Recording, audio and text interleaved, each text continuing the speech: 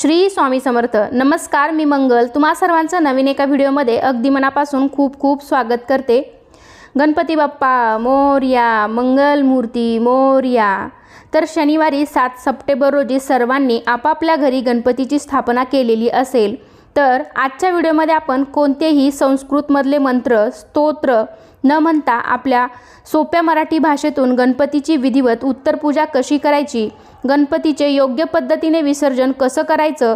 हे आपण आजच्या व्हिडिओमध्ये पाहणार आहोत. त्यासाठी व्हिडिओ शेवटपर्यंत नक्की पहा. तसेच चॅनलवरती नवीन असाल तर चॅनेलला नक्की सबस्क्राईब करा.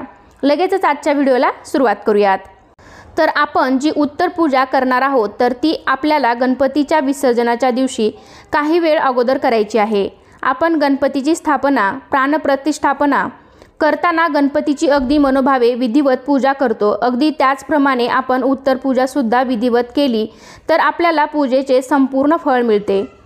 तर आपण घरामध्ये गणपतीची स्थापना केल्यानंतर आपापल्या परंपरेनुसार आपण गणपती त्या त्या दिवसाप्रमाणे विसर्जन करत असतो.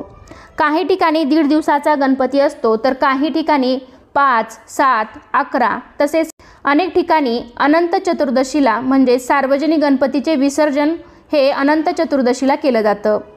तर जशी आपल्याकडे पद्धत असेल अगदी त्याच दिवशी आपण उत्तर पूजा करून गणपती बाप्पांचे विसर्जन करायचे आहे. तर ज्या दिवशी म्हणजेच तुमच्याकडे पाचव्या सातव्या किंवा अकराव्या दिवशी गणपती बाप्पांचे विसर्जन करत असाल तर त्या दिवशी आपण गणपती बाप्पांचे विसर्जन करणार आहोत. तर त्या दिवशी सकाळी लवकर उठून नेहमीप्रमाणे आपली रोजची देवपूजा त्याचबरोबर गणपती बाप्पांची पूजा आरती नैवेद्य हे सर्व आपल्याला करून घ्यायचं आहे. त्यानंतर म्हणजे दुपारनंतर साधारण सायंकाळी चारच्या नंतर आपल्याला ही उत्तरपूजा करायची आहे आणि मग गणपती बाप्पांचे विसर्जन करायचे आहे. भर दुपारी उन्हामध्ये आपल्याला गणपतीचे विसर्जन करायचे नाही. त्यामुळे दुपारी चार नंतर संध्याकाळपर्यंत तुम्ही कधीही उत्तरपूजा करून विसर्जन करू शकता. ऊन खाली झाल्यावर लगेच उत्तरपूजा करून आपण गणपती बाप्पांचे विसर्जन करू शकता. तर आता आपण उत्तरपूजेला सुरुवात करूया. तर सर्वात आधी आपल्याला हळदी कुंकू स्वतःला लावून घ्यायचं आहे. स्त्रियांनी हळदी कुंकू लावायचं आहे आणि पुरुषांनी तिलक लावायचं आहे. पूजेला बसण्याआधी आसन घ्यायचं आहे आणि त्यानंतर पूजेला सुरुवात करायची आहे. सर्वात आधी दिवा प्रज्वलित करून घ्यायचा आहे आणि दिव्याची हळदी कुंकू अक्षता फुलं वाहून पूजा करायची आहे. दिव्याला नमस्कार करायचा आहे. ओम श्री दीपदेवताभ्याय नमहा गंध अक्षता पुष्पम समर्पयामी. याऐवजी आपण दिव्या दिव्या दीपत्कार कानी कुंडल मोतीहार दिव्याला पाहून नमस्कार हा साधा सोपा शुभम करोती श्लोकसुद्धा तुम्ही म्हणू शकता. किंवा हे दीपदेवा मी तुला गंध अक्षता फूल अर्पण करत आहे. माझी पूजा चालू असेपर्यंत आपण शांत स्थिर व प्रज्वलित राहावे. यानंतर आपण आचमन करायचं आहे. शरीर शुद्धीसाठी तसेच आपल्या मनाची आंतरिक शुद्धता व्हावी यासाठी आचमन करणे गरजेचे आहे. तर डाव्या हाताने उजव्या हातामध्ये पळीभर पाणी घ्यायचं आहे आणि ते पाणी प्यायचं आहे. आणि म्हणायचं आहे ओम केशवाय नमहा. दुसऱ्या वेळेस पाणी घ्यायचं आहे आणि ते पाणी प्यायचं आहे आणि म्हणायचं आहे ओम नारायणन महा. तिसऱ्या वेळेसही पाणी पिऊन घ्यायचं आहे आणि म्हणायचं आहे ओम माधवाय महा चौथ्या वेळेस पाणी खाली तामणामध्ये सोडायचं आहे आणि म्हणायचं आहे ओम गोविंदाय महा आचमन केल्यावर भगवान विष्णूंची चोवीस नावे घेतली जातात. ती तुम्हाला येत असतील तर तुम्ही ती म्हणू शकता. नसेल तर एवढं म्हटलं तरी ठीक आहे. जेव्हा आपण गणपतीची स्थापना केली तेव्हा त्यावेळी आपण हातामध्ये अक्षता फूल घेऊन संकल्प केला होता. तर तो संकल्प आपल्याला सोडायचा आहे. त्यासाठी हातामध्ये दोन पळी पाणी हळदी कुंकू अक्षता फूल घ्यायचं आहे आणि म्हणायचं आहे हे गणपती बाप्पा तुमची स्थापना मी या ठिकाणी केली होती. आज मी तुमचे विसर्जन करत आहे. त्याआधी आम्ही तुमची योग्य विधिवत उत्तर पूजा करीत आहोत. पण तुमची कृपादृष्टी आमच्या घरावरती अशीच कायम राहू द्या. तुमचा आशीर्वाद आमच्या घरावरती नेहमी असू द्या. असे म्हणून आपल्याला संकल्प सोडायचा आहे. हातामधलं पाणी तामणामध्ये सोडायचं आहे. त्यानंतर आपण शुद्ध पाण्यामध्ये एक फूल बुडून सर्व साहित्यावरती पूजेच्या ठिकाणी शिंपडायचं आहे. यामुळे जागेचं शुद्धीकरण होतं. त्यानंतर आपण गणपतीची पंचोपचारपरे पूजा करायची आहे. शुद्ध पाण्यामध्ये फूल बुडून आपल्याला गणपती बाप्पाला अभिषेक घालायचा आहे. फुलाने पाणी शिंपडायचं आहे. श्री महागणपते नमहा शुद्धोदक स्नानम समर्पयामी. यावेळी आपण मराठीमध्ये म्हणू शकतो हे गणपती बाप्पा मी तुम्हाला शुद्ध पाण्याने स्नान घालत आहे. त्यानंतर पंचामृतामध्ये फूल बुडून आपल्याला ते फूल गणपती बाप्पांवरती शिंपडायचं आहे. आणि म्हणायचं आहे श्री महागणपते नमहा पंचामृत स्नानम समर्पयामी. हे गणपती बाप्पा मी तुम्हाला पंचामृताने स्नान घालत आहे. पुन्हा एकदा फूल आपल्याला पाण्यामध्ये बुडून गणपती बाप्पांवरती शिंपडायचं आहे. आणि म्हणायचं आहे श्री महागणपते महा शुद्धोदक स्नानम समर्पयामी. गणपती बाप्पा आम्ही तुम्हाला पुन्हा एकदा शुद्ध पाण्याने स्नान घालत आहोत. त्यानंतर आपण गणपतीच्या मूर्तीला चंदन हळदी कुंकू लावायचं आहे. श्री महागणपते महा विलेपर्णार्थे चंदनम समर्पयामी. श्री महागणपते महा हरद्रा कुमकुम समर्पयामी.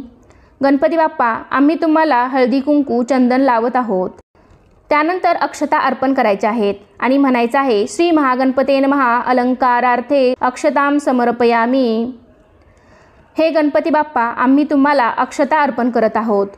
त्यानंतर गणपती बाप्पांना लाल पिवळी फुले अर्पण करावीत आणि म्हणावे श्री महागणपतेन महा नानाविध पुष्पम समर्पयामी. गणपती बाप्पा आम्ही तुम्हाला फूल अर्पण करत आहोत.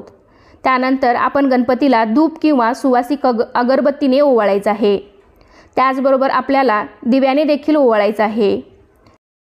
श्री महागणपते महा धूपम समर्पयामी. श्री महागणपते महा दीपम समर्पयामी. गणपती बाप्पा आम्ही तुम्हाला धूप आणि दीपाने ओवाळत आहे. आपण गणपतीची स्थापना करताना षोडोपचारपणे पूजा करतो. म्हणजे सोळा उपचार करून पूजा करतो. आणि विसर्जनावेळी आपण पंचोपचारपणे पूजा करतो. पंचोपचारपणे म्हणजेच पाच उपचार वापरून म्हणजेच गंध पुष्प धूप दीप नैवेद्य या पाच उपचाराद्वारे आपण उ उत्तर पूजा करतो. आता आपला पाचवा उपचार राहिलेला आहे. तो म्हणजे नैवेद्य. तर या दिवशी आपण जो कोणता गोडाधोडाचा नैवेद्य बनवला असेल त्याचा नैवेद्य दाखवून घ्यावा. शक्यतो गणपतीला मोदकाचा नैवेद्य दाखवावा. गणपती बाप्पांना मोदक अतिशय प्रिय आहेत. नैवेद्य दाखवताना हाताच्या मधल्या दोन बोटांनी पाण्याचा भरीव चौकोन करायचा आहे आणि त्यावरती नैवेद्याचे ताट ठेवून तीन वेळा पाणी फिरवायचं आहे. आणि म्हणायचं आहे नैवेद्यम समर्पयामी नैवेद्यम समर्पयामी. हे गणपती बाप्पा आम्ही तुम्हाला नैवेद्य अर्पण करत आहोत. आपण हा नैवेद्य ग्रहण करावा. तसेच पाणी देखील आपण गणपती बाप्पांना ठेवायचं आहे. त्यानंतर देवासमोर साष्टांग नमस्कार घालायचा आहे. श्री महागणपते नमहा नमस्कारम समर्पयामी. हे गणपती बाप्पा आम्ही तुम्हाला मनोभावे नमस्कार करत आहोत. त्यानंतर फुलाला गंध लावून हातामध्ये अक्षता घेऊन फूल आणि अक्षता देवाच्या गणपती बाप्पांच्या पायावर व्हायच्या आहेत. श्री महागणपते नमहा मंत्रपुष्पम समर्पयामी. हे गणपती बाप्पा आम्ही तुम्हाला मंत्र आणि फुलं अर्पण करत आहोत. अशी सर्व पूजा झाल्यावरती सहकुटुंब सहपरिवार गणपतीची आरती करायची आहे. स्वतःभोवती एक प्रदक्षिणा घालायची आहे. त्यानंतर सर्वांनी मिळून गणपतीला मनोभावे नमस्कार करायचा आहे. या दहा दिवसामध्ये किंवा आपल्याकडे जेवढे दिवस गणपती असेल तेवढ्या दिवसामध्ये आपल्या हातून कळत नकळत काही चूक झाली असेल तर क्षमा प्रार्थना करायची आहे. आणि त्यानंतर सर्वांनी गणपतीला मनोभावे नमस्कार करावा. आपण असे म्हणू शकता गणपती बाप्पा मी दहा दिवस तुमची मला जमेल तशी सेवा केली. माझ्या हातून कळत नकळत काही चूक घडली असेल तर मला मोठ्या मनाने माफ करा आणि माझ्या पूजेचा स्वीकार करा. भोळी भाबडी माझी सेवा मान्य करा. गणपती देवा हे प्रभू मला मंत्र आणि भक्ती येत नाही. मी अज्ञानाने जी पूजा केली आहे कृपा करून ती मान्य करून घ्या. माझ्याकडून व माझ्या परिवाराकडून झालेल्या चुकाबद्दल मला क्षमा करा. आणि मी केलेल्या पूजेमुळे आपण माझ्यावर प्रसन्न राहाल अशी अपेक्षा करते. अशी क्षमा प्रार्थना आपण सर्वात शेवटी करायची आहे. गणपती बाप्पांची आरती झाल्यावर घरातील सर्व सदस्यांना आरती द्यावी प्रसाद वाटावा आणि मग त्यानंतर आपल्याला एक मंत्र म्हणायचा आहे. आपण गणपतीची स्थापना ज्या दिवशी केली होती तेव्हा गणपतीच्या मूर्तीमध्ये प्राण आणण्यासाठी आपण एक मंत्र म्हणला होता. पण आता आपण गणपती बाप्पावर अक्षता टाकून त्यांचं विसर्जन करणार आहोत. तर आता हातामध्ये थोड्या अक्षता घेऊन देवासमोर उभे राहायचे आहे आणि एक मंत्र म्हणायचा आहे. तो मी तुम्हाला स्क्रीनवर पण डिस्प्ले केलेला आहे. तो पाहून तुम्ही म्हणू शकता.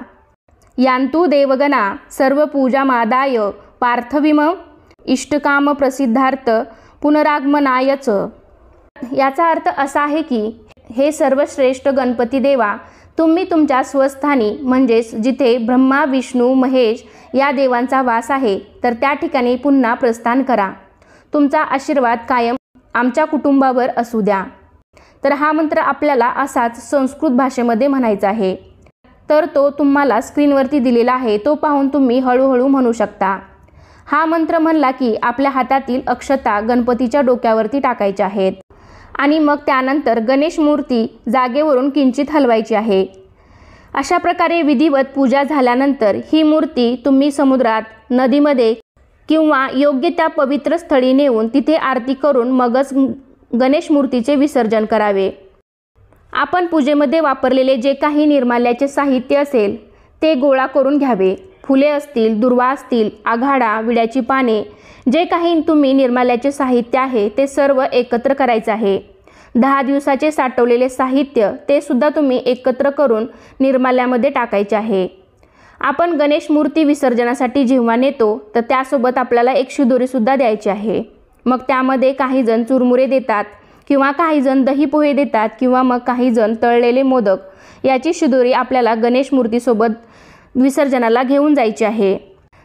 तर याची एखादी पोटली बांधून तुम्ही गणपतीला जे जानवं घातलं आहे तर त्याला बांधू शकता किंवा मग गणपतीच्या हाताला अडकवली तरी चालेल. त्यानंतर आपण गणपतीसमोर जे काही फळे मिठाई ठेवली असेल ती आपण प्रसादरूपी घरीच खाऊ शकतो. तुम्ही गणेश मूर्ती ज्या ठिकाणी विसर्जनासाठी घेऊन जात आहात तिथे आधी आपल्याला आरती करायची आहे. त्या ठिकाणच्या लोकांना प्रसाद वाटायचा आहे आणि मग त्यानंतर गणेश मूर्ती आपल्याला विसर्जन करायची आहे. घरातून जाताना पण मूर्ती उचलून नेताना गणपती बाप्पा मोर्या मंगल मूर्ती मोर्या पुढच्या वर्षी लवकर या असा जयघोष करत मूर्ती न्यायची आहे. आणि तिथे विसर्जन करताना पण मंगल मूर्ती मोर्या पुढच्या वर्षी लवकर या असे म्हणत आपल्याला बाप्पांना निरोप द्यायचा आहे. कलशावरचा नारळ तुम्ही फोडून प्रसादरूपी खाऊ शकता किंवा विसर्जन केला तरीही चालेल. आणि कलशामधलं पाणी आहे. एका फुलाच्या साहाय्याने आपल्याला बाथरूम सोडून सर्व घरामध्ये शिंपडायचं आहे. कलशामधलं साहित्य विड्यावरचे साहित्य आपण पुन्हा वापरू शकतो किंवा विसर्जन केलं तरीही चालेल. आणि गणपतीचे प्रतीक म्हणून आपण सुपारी मांडली होती. जर तुम्ही सुपारी मांडली असेल तर ती विसर्जन करावी. आणि गणेश मूर्ती देवासमोर ठेवली असेल तर ती पुन्हा देवाऱ्यामध्ये ठेवावी. पूजेमध्ये वापरलेले तांदूळ आपण पक्ष्यांना खाऊ घालू शकता. आपण पूजा करतेवेळी जो दिवा प्रज्वलित केला होता तर तो आपल्याला आपोआप शांत होऊ द्यायचा आहे. फुंकर मारून विजवायचा नाही. आपल्या घरच्या गणपतीचे विसर्जन मात्र आपण स्वतःच करायचे आहे. अनेक जण मिरवणुकीमध्ये गणपती विसर्जनासाठी देतात. पण तसे न करता आपण आपल्या गणपती बाप्पांचे विसर्जन योग्य पद्धतीनेच करावे. त्यानंतर आपण ज्या ठिकाणी गणपती बाप्पांचे विसर्जन केले आहे त्या ठिकाणची थोडी माती आपल्याला घरी आणायची आहे आणि आपल्या घरामध्ये आजूबाजूला थोडी थोडी टाकायची आहे. आपण गणपतीचे विसर्जन केल्यावर आपल्या घरातील गणपतीची जी जागा आहे किंवा जी काही सजावट केलेली असेल तर ती आपल्याला लगेच न काढता दुसऱ्या दिवशी जे काही सजावट आहे तर ते म्हणजे सगळी आवरावर ही दुसऱ्या दिवशी करायची आहे. येऊन लगेचच आपल्याला ते सर्व काढायचं नाही. तर अशा प्रकारे आजच्या व्हिडिओमध्ये मी तुम्हाला गणपतीची योग्य पद्धतीने उत्तर पूजा आणि विसर्जन कसे करावे याबद्दल बरीच माहिती देण्याचा प्रयत्न केला आहे. तर कसा वाटला तुम्हाला आजचा व्हिडिओ मला नक्कीच सांगा.